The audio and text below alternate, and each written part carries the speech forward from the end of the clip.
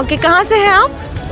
कितने साल से पेंटिंग बना रहे हैं? हाँ स्कूल लाइफ से ही मैं बना रहा हूँ। और तरह तरह के कंपटीशन में पार्टिसिपेट करता था जिस तरह से देश रत्न डॉक्टर राजेंद्र प्रसाद की जयंती पे बिहार विद्यापीठ ब्रजकिशोर नारायण की जयंती पे कंपटीशन में पार्टिसिपेट करते आ रहा हूँ। और ये भी मैं एक नई एक्सपेरिमेंट के तहत बनाया हूँ कपड़े पर सुई धागा से बनाया हूँ जिस तरह से लोग मधुबनी पेंटिंग बनाते हैं। तो ये धागे से बनाकर एक अलग पहचान बनाया आप कहीं से कसीदाकारी। सीखे हैं या फिर आप खुद से?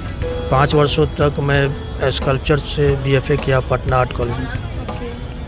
पटना यूनिवर्सिटी उसके बाद प्राचीन कला केंद्र चंडीगढ़ से एमएफए किया हूँ पेंटिंग से। और अगर किसी को बनवाना होगा तो आपसे कैसे वो कांटेक्ट कर सकते हैं? नंबर मेरा नोट करवा सकते हैं। Nine seven nine eight two nine zero three five nine. So आप देख सकते हैं अंकल यहाँ पे पेंटिंग बनाते हैं सो आप देख सकते हैं